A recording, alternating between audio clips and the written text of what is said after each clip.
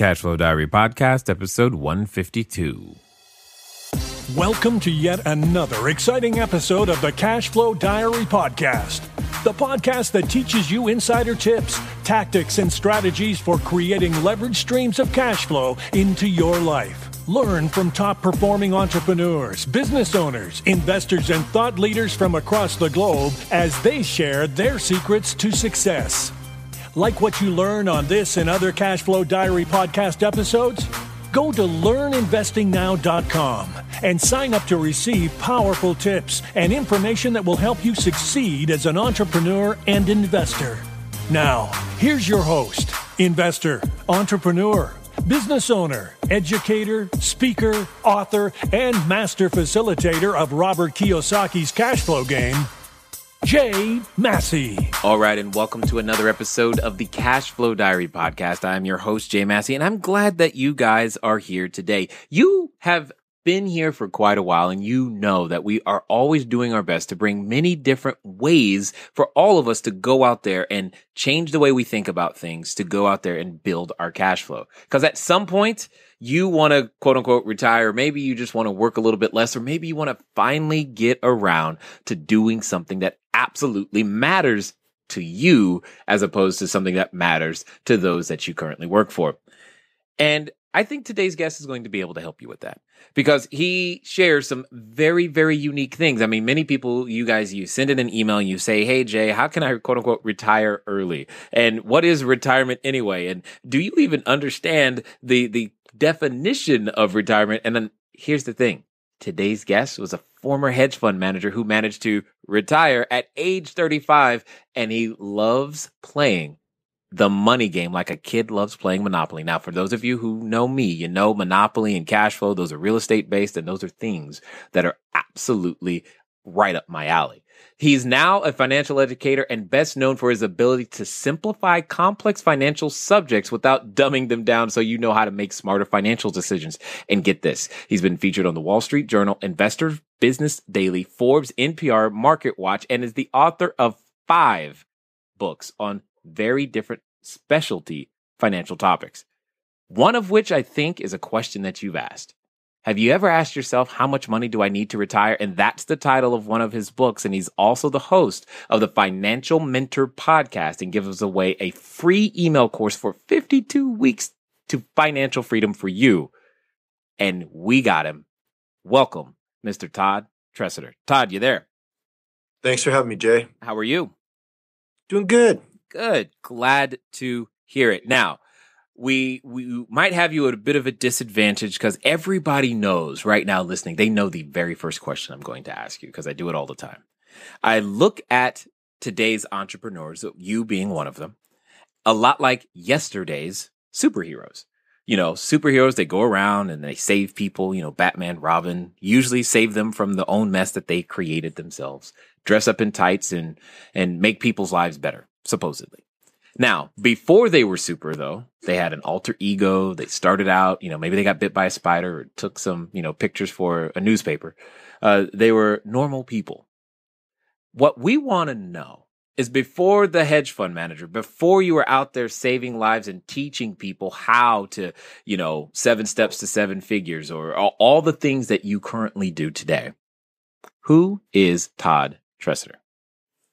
You know, I was listening to that. And the funny thing is, I don't really have a before because I've been a lifetime entrepreneur. I mean, I've been doing this since I was a little kid. I started this when uh, I had a paper route Got as it. a kid before. Yeah, before I was even a teenager, and like I used the profits from the paper route to buy a motorcycle so I could get more paper routes and deliver more papers in the same amount of time and jam around on my cool motorcycle. So, I, I mean, I've been at this my whole life. It's just who I've been. So I don't really have a before. It's kind of funny. I guess I was teaching sailing and I was doing sailboat racing before that, but that's probably about as before as I can think of. Well, actually, it just means that I'm assuming then you were born into a household where the ideas of entrepreneurship were not only taught, but fostered and encouraged. You couldn't have been more incorrect. I um I was born into a family. Yeah, it's zero entrepreneurial background. As a matter of fact, the family joke my family has never understood me. I've been the freak of my family. and the fa- the family joke that goes around is that I work for the CIA and all these little business things I do is just a cover up for my real work. okay. All right. This is good. Yeah, so I don't I don't I don't have any family history of entrepreneurial background at all. It's just like I just started doing it. I was into it.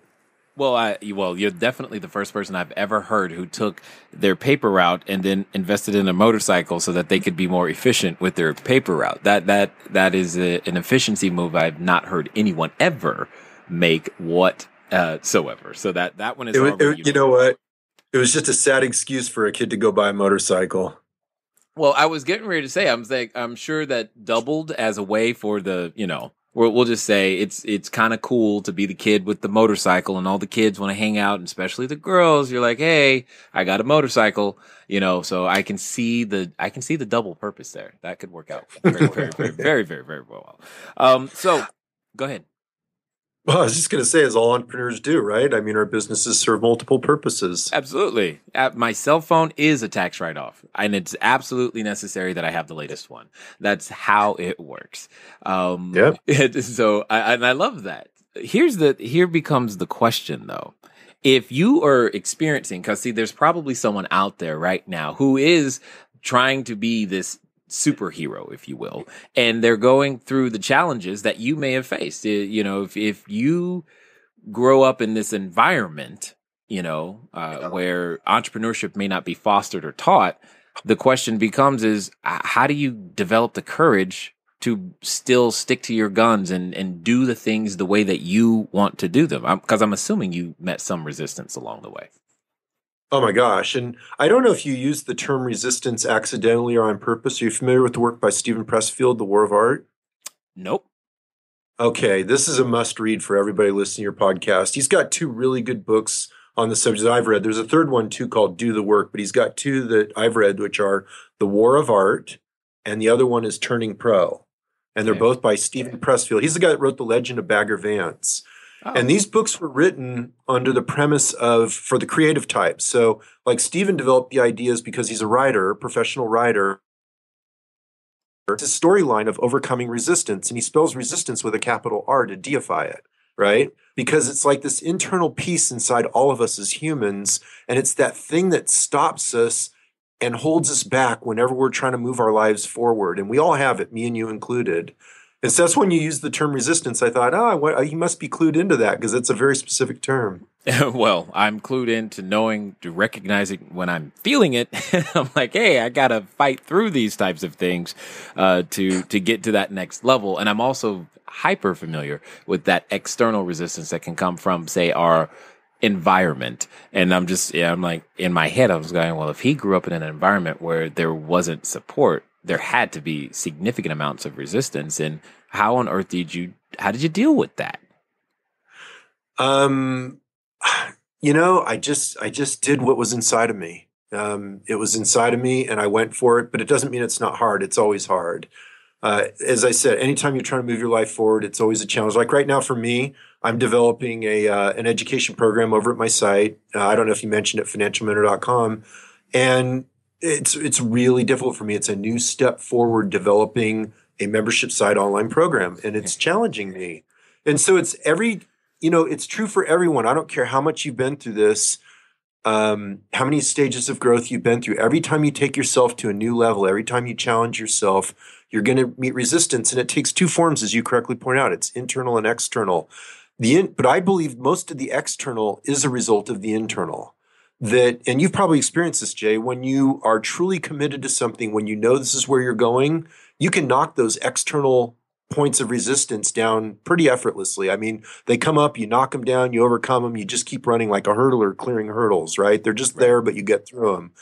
And then there's times when you're not really grounded, you don't really know where you're going, and you're not clear and you're not committed and bam those hurdles are like sky high. They're like brick walls. Yeah exactly. The immovable you, you, can't you can't think of a way over them around them under them through them and they're the thickest material on the planet. But there's something that i don't i want to make sure people catch because you said and we talk about you having quote unquote retired at age 35 We're going to assume that was a little while ago, but yet you're still pursuing additional challenges. So you have a unique perspective on the concept of retirement, and I would love to hear it. Yeah, well, that's a, a huge misnomer out there that, you know, retirement is about sitting in a hammock on a tropical beach with a, um, little umbrella drink, right? And and it's not. It's not. I think there's a myth out there, a really common myth that, you know, we think of life you're supposed to, you know, work like a dog for 40 years and scrimp and save so you can do nothing of substance for the remaining 30 years and it's it's not what a fulfilling life is made of and I've been I've been blessed to live the extremes. So I was a workaholic as I built up the hedge fund business, and then I, as I said, quote unquote, retired. And that was a while ago. You you alluded to it, but I'm it was 18 years ago, and so you know we sold the business, and I was on what I I call the pro leisure circuit, right, which is now suddenly my my sole focus is entertaining myself, and I was shocked. Um, I always thought that would be joy and happiness. I had that myth in my head. And as soon as I lived it, I realized why so many people are unhappy as they retire. Um, humans are very different. Happiness is a much more subtle thing than we realize. It has to do, you know, I'm going to fumble with it a bit because I don't have it down to an exact little one line sentence, but it's, you know, you have to do a creative pursuit that's in alignment with your values, mm. that honors some things like contribution, human connection, you know, having a life purpose all these things are at the core of happiness. And what you find when you quote unquote retire is a lot of that gets removed because a lot of that was vested in your career and how you viewed yourself. And so I've come back now and I think I'm pursuing something that's closer to balance, which is what, you know, has been dubbed lifestyle business. Right. Um, so that to me has been the balance point. Pro leisure circuit was just not so fully satisfying, and workaholism has its problems as well. And I think the balance point somewhere in between is is where I'm finding it. You know what? What's interesting is uh, I love the reference to the pro leisure circuit. I tried the quote unquote retirement idea. Uh, I lasted a very very short period of time because I just got bored. Didn't have. And I was like, I can't do. It's not fun. It's like I got nobody, not enough people to do stuff with, and it's just. I mean, how many times can you keep paying for dinner? Uh, so it it was definitely an interesting thing. But you bring up this concept of balance. And I would love for everybody to you know because we we want to start a business because hey then I can have more time to myself and I can I can do all these things. I would love to hear your perspective on this concept. In regards to what? Balance? Yeah, balance and what that really means from the entrepreneur's perspective, especially as it relates to the amount of time that it takes to achieve the things that we're talking about. Well, for for me, I'm best. You have to know what works for you. For for me, it uh, it's stint work. So I take off about three months out of the year. I still have kids in school, and so um, I work when the kids are in school, and I work really hard. I mean, while the kids are in school, I can put in the hours and be very focused. And then during the summer months, I take the bulk of the summer off, and then I take the holidays off and then sometimes I take special time periods off. Like, um, what was it? Two years ago now, I hiked the John Muir Trail, which is, you know, 250 miles from the base of Yosemite to the peak of Mount Whitney.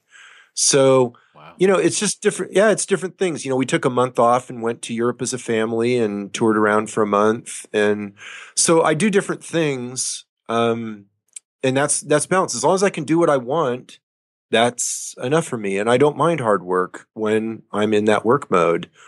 Yeah, work mode. Indeed. There are times where you got to turn it on as well as turn it off. So, talk to us about the beginning in the sense of you're building the, the the, hedge fund and and there are so many people I'm sure listening to you right now and going why would he ever stop doing that uh, which therefore becomes the the I think the jumping off point for a very good conversation is why why on earth would you stop doing that? Everybody seems to want to be what you were doing. Yeah, it was probably the stupidest financial decision I've ever made. Certainly the most expensive, um, because obviously building a website and financial education business doesn't pay anywhere near what the hedge fund business paid or would have would have paid. So from a financial standpoint, it was absolute insanity. But I, you know, that's not what life is about you you reach a point ultimately you know the goal is your happiness and you becoming the greatest version of yourself that you can be it's not about how much money can you amass and so you know i reached a point when i got into the hedge fund business my fascination was the idea of creating a money machine in the world of paper assets. You know like how how could you consistently turn profits in the paper asset world? And that's why i went to the hedge fund side not like traditional financial advice and that kind of thing because you can't do it there. And so i spent years my job was researching um, trading systems. I was one of the early pioneers of computerized trading systems and so i was programming and developing databases and doing all that stuff and i tested most of what's out there and surprisingly most of it doesn't work um, there are a few things that do work I got to a point where I really understood the principles and mm-hmm. got it down to a set of principles. And I got to where it's kind of the 80 20 rule. You know, like what I had learned in those first 10 years, or I was in the business for 12 years actually. In those first 12 years, what I learned was 80% of the game. I could get 80% of the results for about 20% of the effort. And if I stayed in the business, I could spend the rest of my career trying to figure out how to pick up those last couple percentage points. And I just couldn't see that as a fulfilling way to spend the remainder of my life. Yeah, got it. Totally understood. Now, because I mean, I'm sure there are many people, like you said, uh, who would have chosen to to stay there definitely for the compensation, but life is definitely a lot more than the compensation. I like what you bring up. You bring the greatest version of yourself that you could be. Um, but you mentioned something really, really quickly. You said you can't do it with traditional financial advice. That I'm paraphrasing to some degree. You said you can't do it there. Could you expound a little bit more because there are lots of common misconceptions or things that are out there that you like to talk about that I think everybody needs to hear. Well, in the paper asset world, first of all, paper assets as commonly used as you know a buy and hold or passive investment strategy is not really a wealth building vehicle except over extremely long periods of time. Um, it's really more of a wealth parking vehicle for wealth created elsewhere which is typically real estate and business. And so with, the reason for that is there's mathematical limits to the growth of paper assets um, for example, if you take the equation for the for the return on stocks, it's basically dividends plus economic growth plus or minus change in market valuation. And so the thing about plus or minus change in market valuation, the third component, is that it does what's called regressing to the mean, which over, you know, 20, 30 year time periods, it regresses towards zero, which means that your return on a stock portfolio long term is essentially dividends plus economic growth. And your dividend rate based on your initial invested capital well, I'm sorry, I, I said that funky. The dividend rate you get is determined by your initial investment, right? The date you invest. So right. if you invest in a low valuation period, you'll get a high dividend rate. If you invest in a high valuation period, you'll get a low dividend rate. They're inversely correlated. Your economic growth is pretty much a constant. And so what that means is that's a really verbose way of saying that there's limits to the the growth of your assets within the paper asset world that are pretty much set in stone. Whereas when you go in business and real estate, you have a couple principles in there that are totally different from the wealth building side. You've got the principles of leverage and the principles of tax advantages. Mm-hmm. And those two principles are why most wealth gets built in those arenas, primarily leverage, but also the tax advantages. Yeah, and uh, those are the things that I've always identified as the advantages. Uh, this is definitely to to paper assets. So, uh, one of the things that you mentioned is that, and I like the way you said it. You said paper assets is a wealth parking vehicle. Yet, so many uh, individuals, probably even listening right now, are using them on a you know bi-weekly or monthly you know automatic withdrawal plan straight over to vehicles like a 401k or an IRA. And I, am just kind of curious uh, if you were them or individuals in that particular situation how do they make that work for them? Well, there's the fast path to wealth and there's the slow path to wealth. and the faster path, the faster path is riskier and it's not certain that you'll ever get there because of the risks. And the slower path has a higher probability, a pretty fairly confident outcome, but it takes longer and requires more initial capital. And so a lot of times when I'm working with clients on developing their wealth plan, we try to integrate both and that way you're pretty much assured of the outcome. So, like, let's take um, what's common for most people listening is there's a two partner couple, right? Right. And so what you can do is you can have one partner be pursuing the what we'll call the financial stability side, which is they hold a regular job, they get a 401k contribution, and pretty much their income pays the bills and they live within the means of the one income. And then you have the other partner pursue the fast path or the leverage plan, which could be an entrepreneurial pursuit, could be real estate activities on the side, whatever. Um, and so that way, even if the one side, if you properly insulate them in your in how you design it, if the one side fails, you've still got the other side as a backup. Plus, you're never put under financial stress because you're living within your means on the one income.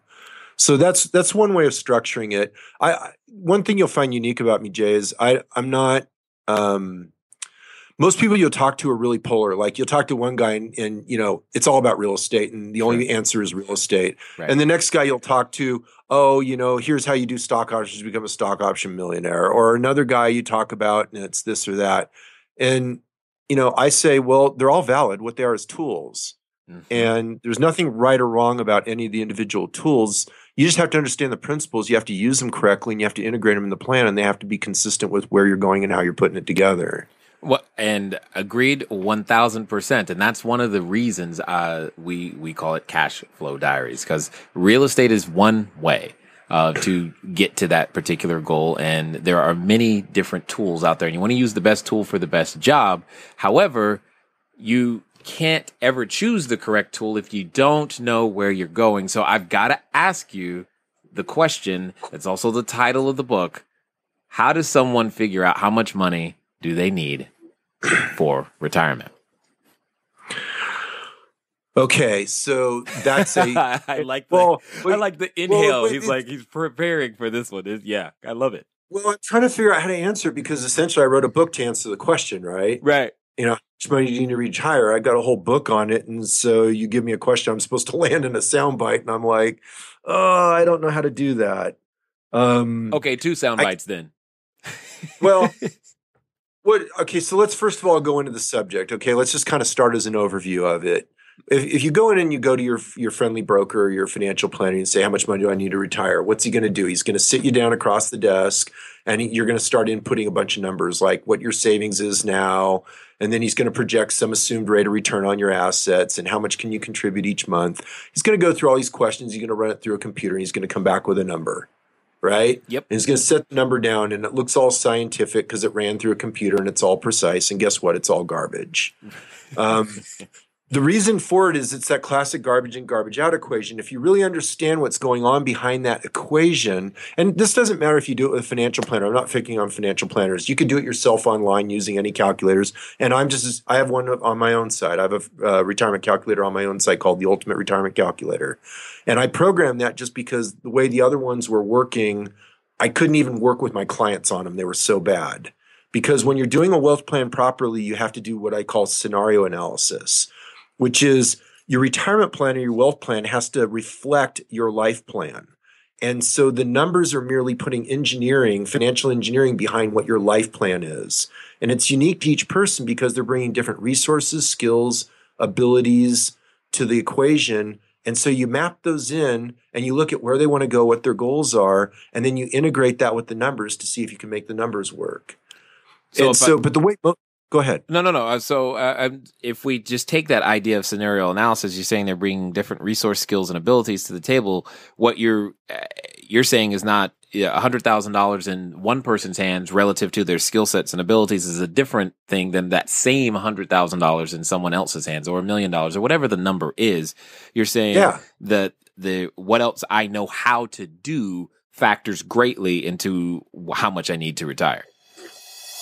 Are you tired of letting good cash flow generating ideas go to waste?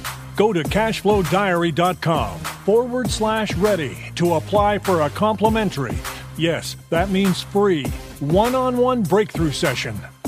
Take action now. Go to cashflowdiary.com forward slash ready. Again, that's cashflowdiary.com forward slash ready. Before we get back to today's episode of the Cashflow Diary podcast, your host Jay Massey has some important insights to share with you. Hey guys, you know, has your brain exploded yet?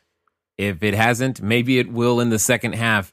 However, are you learning anything that's uniquely different about definitions of retirement and most importantly, how you might be able to get there faster. I certainly hope so. It's definitely an achievable goal when you define it properly. And that's one of the things that uh, I hope you take away from this particular episode is that with the correct definition, most importantly, laboring under correct knowledge, many, if not all, of our goals become that much more achievable. Anyway, let's get back to it. Well, what I want to do, you know, so for example, let's say I've got, I'll just make up some from past clients. I'll just make up some scenarios, okay? okay. So let's say I've got a really high earning attorney, okay? The guy's making a bunch, he's got a very successful practice. And so I work with him, but he's renting his office space. And it's a large office space because it's a successful practice with a lot of employees. So I work with him on buying you know a, a, fairly substantial office space of which he can at least take down all the rent if he has to off his own practice and he can rent out other spaces in the meantime for additional cash flow. But if he gets in a bind he has a problem with tenants his practice will carry it no problem. So now he's building equity into the office space which ultimately will be a source for his retirement. And then he can sit there because his source of wealth is his practice right? That's the source of wealth because um, you always have to identify when you're developing a wealth plan, you have to identify what the source of wealth is. It's a misnomer. Like people think it's about investing, and it's not. You have to first create the wealth, and then you have to invest the wealth. And actually, there's a third component between, which is you have to translate the the wealth created, which is income initially, over to the asset side. So it's a three part equation. You have to create the wealth in the first place. You have to translate the wealth over the asset side, and then you have to invest the wealth to grow in excess of inflation so that you increase purchasing power. So there's three components to it anyway. So I'm giving the example of the attorney. You know, we he he focuses on his practice. That's his wealth creation vehicle. We translate that over via real estate. That gives him increased deductions, yep. right? Yep. And so he does that, and then he maxes out all his retirement plans for both him and his wife on the paper asset side, and he's good to go. That's all he needs to do. We don't, we don't have to get any more complicated. You contrast that with a school teacher okay, doesn't make even a fraction as much money, doesn't have the upside potential in income, and therefore he has to find his wealth creation somewhere else because basically his salary is lucky to pay his bills, right? Right. And so, but he maybe he's really great at home improvement skills and he actually really loves it. He's got two to three months off a year. And so maybe his goal is to create one rental house a year and he maybe he gets the kind of junkier ones and he puts a lot of sweat labor into it really makes them beautiful fixes them up during that time off and he builds equity that way. Got it. Makes perfect sense to me. Now, you said something really quickly that is a, a topic I love to always ask questions about uh, because purchasing power and velocity of money are things that I'm always constantly running through my own head. So I, I would, you said you got to grow the money in excess of the rate of inflation, which is great. However, how is someone to figure out what that number is, in your opinion? The you mean the inflation rate? Inflation rate, and most importantly, how to exceed it uh, is is I know the question someone is asking right now. That's that's why I'm asking yeah. you. Okay, so when you're looking at your wealth equation, there's there's really two components: your life cycle of wealth. In the early stages of wealth building, it's all about your savings rate is in relationship to your income. The higher your savings rate, the sooner you'll be financially independent. And it's a, it's it's a very straightforward equation. I have an article on my site called uh, how anyone can retire in 10 years or less. And in there, it goes through the math of the savings rate in relation to um, your income and your expenses. So that's pretty straight up math. And then the other side, the latter stages of your wealth equation, is the um, return on investment net of inflation, which is the one you're referring to now. Right. Now, when you look at that number, inflation, it's almost funny because almost any financial advisor will just stick in 3%. Why do they choose that? Because that's been a historical rate of inflation over a very long period of time in the US. So the first thing you'll notice is several is several things are one US centric data, right? Doesn't necessarily apply internationally. Doesn't mean that it's going to be true going forward because the US was the economic prom queen of the world during the time period in which that data was created. We're like one of the only countries that didn't have a war on our soils. We didn't have major political upheaval, et cetera, et cetera, et cetera and so plus we were the economic leader during that time period. Um, so that may not be data that's realistic to base it upon, but that's what they'll choose. They'll choose 3%. Now, you could range it up or range it down slightly depending on your assumptions, but the fact is we've had 10 year periods that are way higher in inflation than the 3%. And what you'll find when you really work with retirement calculations is it's the first, it's the 15 years pre- preceding your retirement and the 15 years after your return on investment during those two 15 year windows. And they're two separate year 15 year windows. They're not a 30 year window because you have to get them both right. But your return on investment net of inflation during those two periods pretty much determines your financial outcome. Interesting. I like that idea. It just, well, because that flies straight in the face of the idea of set it and forget it, that there's never that opportunity. Yeah. So here's a fun one for you. Think about in the rest of your life. Is there any point? So set it and forget it plays to the whole passive philosophy, right? Like right. you're just supposed to be passive about everything. Um, so there's passive investing as a philosophy. So if you think about it, where in your life do you have a process that's optimized through be, uh, through a passive approach? You know, are your relationships optimized through a passive approach? My wife says right. no. Right, laughable, right? right? Right. Raising raising your kids is it optimized through a passive approach? Oh Lord, no. Okay. Um, how about your health? Is that optimized through a passive approach? No. In fact, you got to imply more the older you get. Yeah. There's there's no aspect of your life that is optimized through a passive approach. So what makes you think investing or wealth is going to be different? And I'm just glad you're willing to say it because I often tell people passive or passive income doesn't mean uninvolved. And that that's one of the first and, and cardinal mistakes that we could make from that idea. It's like, cool, I'll just buy a building and I don't have to worry about it. I'm like, no, you do. It doesn't work. Yeah, a, a, building, re- direct ownership of real estate, the way I teach it is there's a continuum of passive versus active. And every investment strategy you can plot on that continuum. And so real estate's kind of a half and half. It's half business, half investment, right? So treasury bills is an example. That would be all the way over the far left as fully passive. Right. And to the far right is entrepreneurship right. right? Right. As as fully active. But then you've got gradations in between. For instance, you can be an entrepreneur and build passive streams of income within your business. And so you can start tilting it to the left towards greater passivity. What I do, I have, I have, I hate to keep referring to the site, but these are all resources. I have another article called uh, "Passive Income Hoax" on my uh, website, and in that article, I talk about the difference between what we're just saying here, the passive versus active continuum, but also this idea of lag. You know, an active approach uh, to income can provide an immediate response, whereas uh, passive usually it's a lagged response, and you have to do the work up front yes. to get paid yes. down the road. But even then, there's some maintenance required to do it. And our websites are a great example, right? We can yep. put a ton of work up front to build them. Yep. We're still going to have to work them down the road. You can't let them go passive or they die. Exactly. I mean, uh, as you know, and I know, when it comes to we we think this is the way the website should be, and then traffic starts hitting it, and you're like, oh, we have to change this and change this and make this better all of those things are very, very true. Even if you're going to write a book and that's going to be the way that you're going to do it, you still have to put the work out there to put the book together first before you can go out there and sell and derive income from the asset that you just created. It, it, there's a lot of upfront work that is often not seen, not taught and flies straight in the face of immediate gratification in all the ways, shapes, and forms. So, which gets me to this question if someone was going to achieve, you know, this ability to retire, and regardless of the vehicle that they use, what would you say are the top three character traits that they must learn, develop, or already possess in order to be able to make it?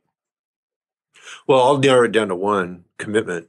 Um, you have to be committed to the goal because everything in your life is going to compete with it. And so it won't happen unless you make it a priority. And that only happens if you're truly committed to it. So you have to, you know, here's a fun, fun equation for people to play with. You know how long it'll take you to reach your goal for um, retirement or passive income, income exceeds expenses, however you want to define it. Um, you know how long it'll take you by looking at the percentage of the amount of your uh, scarce resources, which is time and money, that you dedicate to it. Wow. That tells you how long it'll take you to reach the goal. It's pretty simple because that's showing you your level of commitment. well, I say right now you are hyper committed. So am I, and so are a number of you that are listening, because uh, that should encourage you. Because uh, the more time you're you're headed in that direction, the more your mind and focus, and you're out there building those assets and developing that real estate and doing the things that are required. So let me ask the exact inverse of that question. What would you say is the number one thing that you've seen your clients struggle with that get in the way that just take them off track and they just like never return? Oh, see that now it's funny because you go mirror image and I go mirror image in my answer. Let me count the ways, right? there, there are so many. Um, one of them obviously is distraction, right? They allow themselves to be distracted. That would be the mirror image of commitment. Um, confusing objectives. So, you know, as you pointed out earlier, you said something about delayed gratification. That's a characteristic of successful wealth builders. And I'm not even really comfortable with that term delayed gratification because I think I really think of it as getting a different form of gratification. You know, when I was saving uh, very aggressively, I didn't view it as delayed gratification. I was very gratified by what I was doing because I was moving towards my goals. so like to me, that. it was, yeah. So you're, you're, you know, you're dedicating your resources to where you want to go. So it's a very positive or, you know, offense thing as opposed to defense. Um, so clarity around the goals. I see a lot of people, you know, they'll come and they'll say, "Oh, I want to be uh, rich. I want to be financially independent." Oh, really? How come? You know, oh, you know, they want a Lamborghini or they want this or they want that.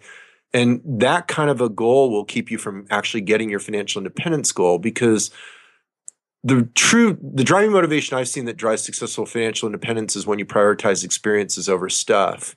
And there's a reason for that. If you want stuff really bad, if that's your really driving motivation is stuff, then what happens is you will raise your lifestyle to acquire the stuff as soon as you have the money to afford to do it and that'll keep you from building the equity and the assets, which ultimately is what drives financial independence. You know, um, I, have got to I got to confess here, Todd. I um, at one time I, I I wanted a Lamborghini until I realized I couldn't fit in it. That was that was the whole thing. I, I went I went to the dealership and everything. I tried to get in one, and it just didn't work out. They're not made for six foot four people. That's just not. So that killed it for me and made it made it much simpler. Uh, but I like your idea of stress on the, experiences. And when you say experiences, what are you? Or is this like the the the hiking thing, the 250 mile uh, hiking thing that you're referring to? Yeah, you think what does it really take to be happy? Right. I mean, like I'm actually a, a fairly simple guy in terms of what my needs are. It's really healthy food, clean water, comfortable bed, a good chair to sit and read in, and a great book, and time to enjoy my life. I'm a very much outdoor recreation guy, but once you have the toys, it doesn't cost that much to enjoy those things. Um, it's just, you know, it's not that complicated. I, we we make it really complicated, but it's not that complicated, and it's anyway. So got it. He's like, it, it's not that complicated. Don't complicate. Yeah, it's just it, it's experiences. You know, I you think about it. What's going to make for a satisfying day to day? What, what's going to make you for a happy day today? It's got it, got it. So uh, let's talk about this though. We mentioned treasuries earlier and the passive ideas, and we understand that real estate's in the middle. For most- oh, here I'll, I, am going to throw something in, Jay. I want to I want to throw something in on that because I didn't explain that very well. Okay, there's a fun phenomenon you'll see with people as they build wealth, and maybe you've seen it with people you talk with, which is when they have enough money to afford anything, they usually remark that there's not much they want that the wants are actually a result of the scarcity mindset that comes from not being able to afford it in the first place. Once you can afford it, it usually isn't all that enticing. Yeah, that's that's kind of true. There have been many times for me, many of you guys know I, I, live in the Apple store for no particular reason other than I like to go there for inspiration. Uh, as, and you can just, there are times I can remember going to many different stores and just thinking, yeah, there's nothing in here that I really need, uh, anymore. I'm, I'm pretty good. It's, it's, it's an interesting way to live. But let me ask you this question.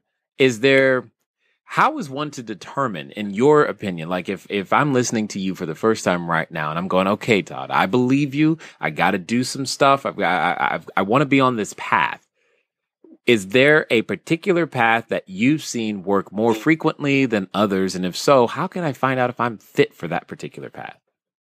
Hey, can you say that question? I just realized an answer to the earlier question you did where I did a big breath and I couldn't give you a good answer.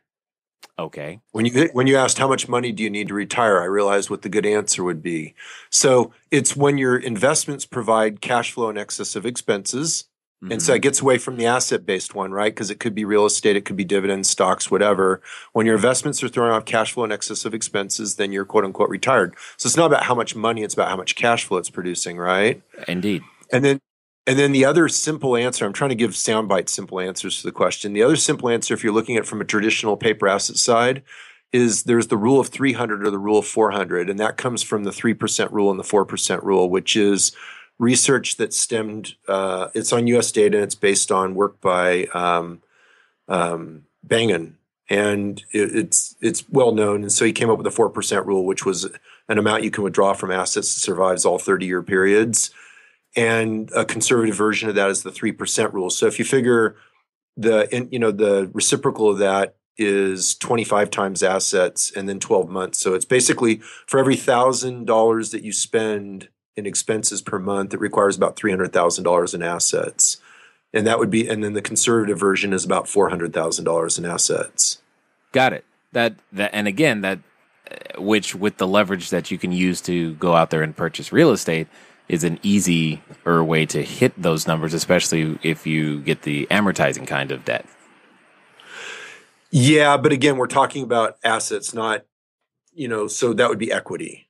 And well, the, yeah. the asset side was strictly the, the asset side was strictly from the paper asset world. Got it. You know, when you quit it, when you quit it to real estate, you really have to boil it down to cash flow. You can't boil it down to assets because you're never spending any principal.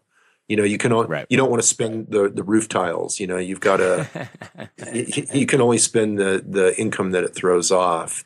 So the real estate side is really simple. It's cash flow exceeds expenses. On the paper asset side, it's more complicated. So I'm giving a rule of thumb. It's a decent approximation. Um, it's not for sure, but it points you true north. It puts you in the ballpark at least. Got it. So with all that being the case, what do you is there a path that you find to be the easiest for most people? Most accessible? No. I mean, is there any no. advantage? How do how does one know? Do, you know, do I do the paper asset thing? Do I do the real estate thing? Do I do the business thing? How how, how does one make that decision? Well, I, t- I touched on that when we were talking about wealth plans earlier. I was saying it's unique to each person. So, what is the easiest path for Jay Massey is different from the easiest path for Todd Tresidder. Um, it depends on the skills and resources and abilities you bring to the equation and what your goals are and what you want to do with your life. And so it's just different. You can't you can't pull up the easiest path. There is no simple superlative answer like that. There are paths that statistically have a higher uh, incidence of putting you in the wealthy category, right? So statistically, uh, entrepreneurship, business ownership, and um, real estate are the the paths that have the most people build wealth. Um, that that's how most people end up in the wealthy category. But paper assets exist. It's a viable alternative. Some people might say, oh, Warren Buffett, you know, paper assets, but really Warren Buffett owned companies uh, of which right. those paper assets were wrapped inside an insurance umbrella through through his insurance companies, Berkshire Hathaway, and so on. Um, so it's you know again, business and real estate is generally where most of the wealth gets built. Understood. Totally understood. Now, what about those individuals right now listening who might feel a little bit behind the gun? They're like, yeah, all this sounds great, but I'm out of time. How to, you know, it, it that's, you know, I, I retirement's five years, six years, seven years away is when I was planning on doing this. Is is there's is there any hope, Todd, for them? Well, there is, but you have to be realistic. You're not going to do it through saving your way to wealth. If you didn't, if you didn't start saving long ago, you're not going to suddenly convert and save ninety percent of your income. Um, so that's true. Right. So you have to kind of throw that one out the window and say the slow path or the saving and passive path is is pretty much done for you because you waited too long.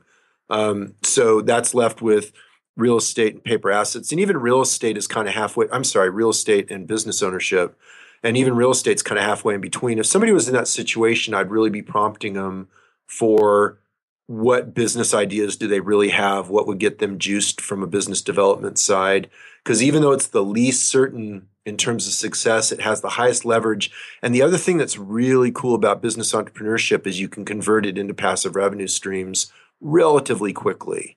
And so if you have to replace a few thousand in income to be financially independent relatively short period of time, typically business is going to be your fastest path. Now, you mentioned something that I think is a very important point. That oftentimes we talk about trying to save this stack of uh, stack of cash, this pile of cash, and I'm saying no, we need streams of cash. We've got to convert those stacks into streams. If you would please, you said it really fast. You've got to take that business and you can convert it into the stream. I'd love to know how is one to do that in your from your perspective.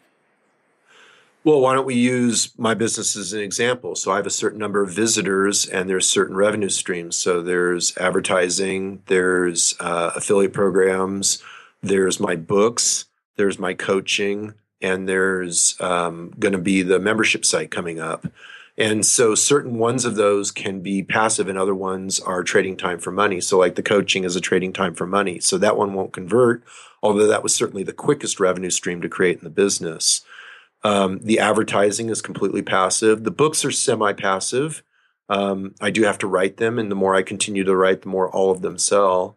And so, for me, let's say if I wanted to take this thing to passive in a period of years, I would focus on traffic increases, which convert on advertising. I would add a few more books, and that would do it. You know, and then in terms, so I would focus on the product side, which can be more passive than the service side. Indeed, and it sounds as though that there's levels of systems that come into play to help facilitate that as well. Absolutely. Got it. Got it. Totally understood. Excellent. So at this point, if their brain isn't full, for those that want to go and find out more about what you're up to and how you can help, what would be their best course of action? You mean in, in terms of next steps with me? Yeah, absolutely. They're probably wanting to track you down because if if they're anything like me right now, they've heard so many things. They're like, "Yeah, I want to read that article. Yeah, I want to know more about that." And what's he think about this? How can they find that information? So the site, my site is financialmentor.com, and it's again financialmentor.com. And you know, I don't have anything to pitch you, so there's a free opt-in list, and I give away a thing. It's called the Wealth Building Toolbox and in there is an ebook, 18 Essential Lessons of a Self Made Millionaire. And it tells my story and a lot of the lessons along the way, a lot of stuff we talked about here and a lot more. And then also, I have a 52 week course called 52 Weeks to Financial Freedom. And no, you won't get wealthy in 52 weeks, but it'll cover a lot of the core principles. And all that's free. So it's not even being sold to you. It's all free stuff you get for just opting in. Awesome. Excellent. Now, for that person or persons listening right now who are thinking to themselves, I want to be the superhero. I want to finally go get on my cape and start becoming this entrepreneur and building cash flow and doing these things that these guys talk about. But they're feeling a little nervous. You know, can I do it? Is it right for me? How, how on earth is all this going to happen? Can, is this really going to work? What would you say to that person? Well, yes, it does work. Um, is it a, a, sterile, safe process? No. Uh, will you take your lumps? Absolutely yes. Um, but if you want it, you can get it. You just have to be dedicated to it and willing to get back up every time you get knocked back down and, and pursue it. You want to work on a couple levels. You want to work on a smart strategic wealth plan so that you know it's based on sound principles. And if you take these actions, if you take X actions, you get Y result. And so that's built into your wealth plan. So you've got to get that and then um, you've got to be willing to take action. You know, it's it's a combination of having a plan that governs your action and then taking consistent, methodical, strategic action towards the set goals and just going, going, going relentlessly until you get there. I like it a lot. Well, one of the things I want to say is thank you for taking the time to make an investment here with us at the Cashflow Diary. Hey, thanks for having me, Jay. All right, ladies and gentlemen, you know it's time to do? It's time for you to move at the speed of instruction. What does that mean today? It means go over to Financial Mentor. Just go. Because you heard it just like I heard. There was so many resources on the site. Financialmentor.com is there for you, and so much of it costs nothing but time. One of those very valuable and scarce resources. You probably even should pick up a number of his books. And most importantly, you also heard the resource, The War of Art and Do the Work uh, by Steven Pressfield. Here's the point. You've got no excuse from this episode of what you should do next. If there's something that you heard mentioned that you haven't yet done, that's a clue to get out there and go make it happen. It's been fun talking to you guys today, and I look forward to talking to you soon. Until next time.